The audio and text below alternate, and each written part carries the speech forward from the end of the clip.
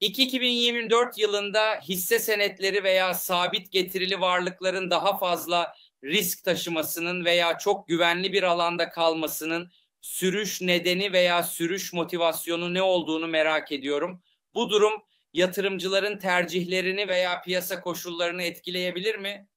Ayrıca bu durumun yatırımcıların karar verme süreçlerini nasıl etkilediğini de öğrenmek istiyorum. Kaliteye uçuş mu demek istiyor veya buna benzer bir şey mi? Görüşünüz? Geçen gece Federal Reserve ve Jerome Powell'ın sözleriyle özellikle benim bakış açımdan bu sabah bile Bloomberg Ekonomi, Reuters'tan birini açıyordum. Bir yerde Jerome Powell'ın bizim bilmediğimiz şeyleri bildiğini okuduğumu gördüm.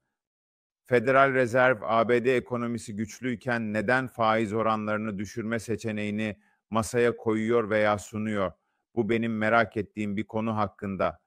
Onlar bilmediklerimizi biliyorlar. Muhtemelen beklediklerini söyleyeceğim.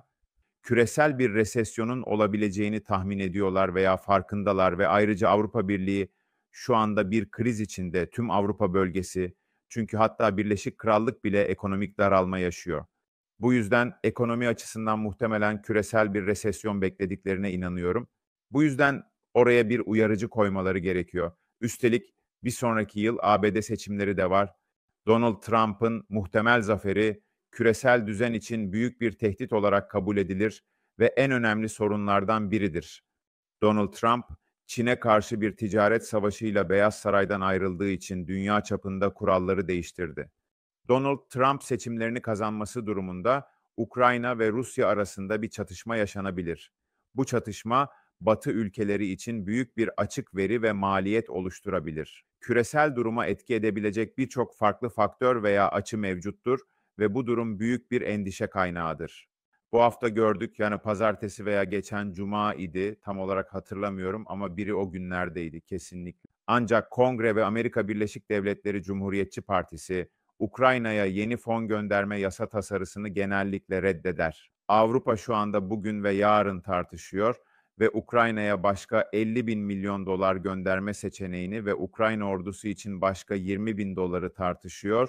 Ayrıca Ukrayna'yı Avrupa Birliği'ne entegre etmeyi tartışıyor.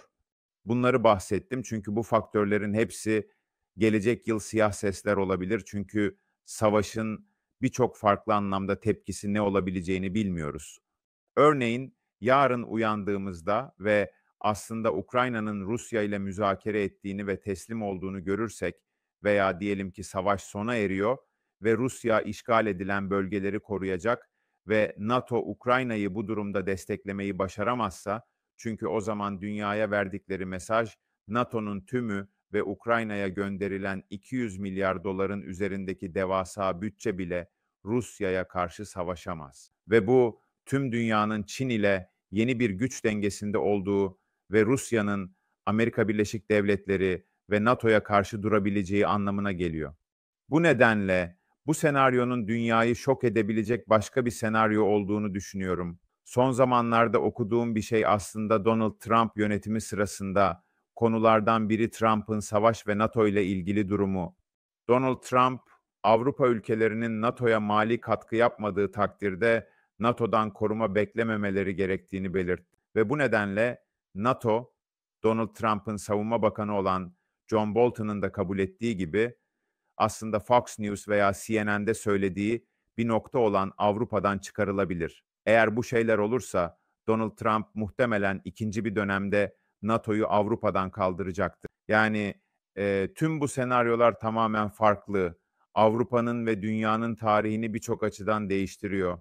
Bu yüzden Ukrayna faktörünü düşünüyorum ve Orta Doğu, İsrail çatışması, İran'ın konumu, petrol ihracatı gibi konuları bile konuşmuyoruz ki bu da aslında bunu etkileyebilir. Yeşil enerjiler petrolün düşmesi, düşmesi ve düşmesi nedeniyle iyi gidiyor. Bu da yeşil enerjilerin talebinin daha karlı olabileceği anlamına geliyor.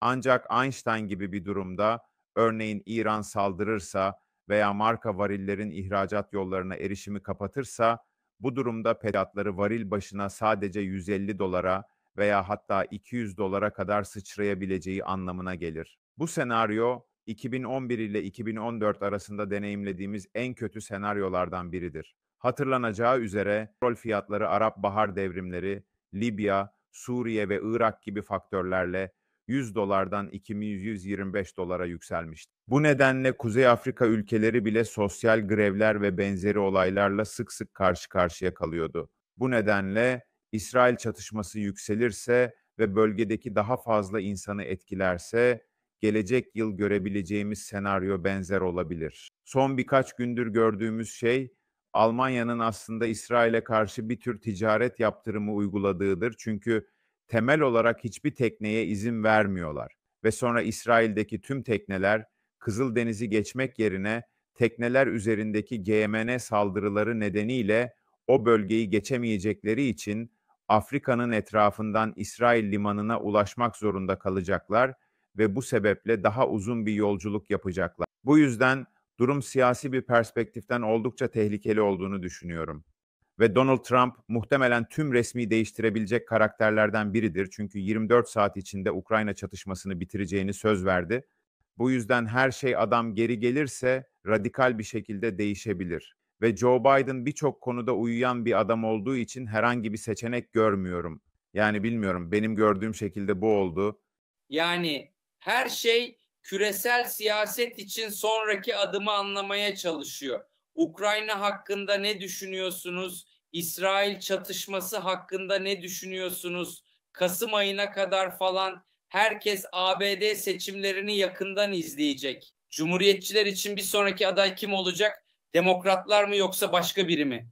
Çünkü demokratlardan başka bir adayı bekliyordum. Özellikle beklenen bir adayı görmek istiyordum. Ya da eski adayın başka bir muhafazakar aday olması da başka bir sorun olabilir.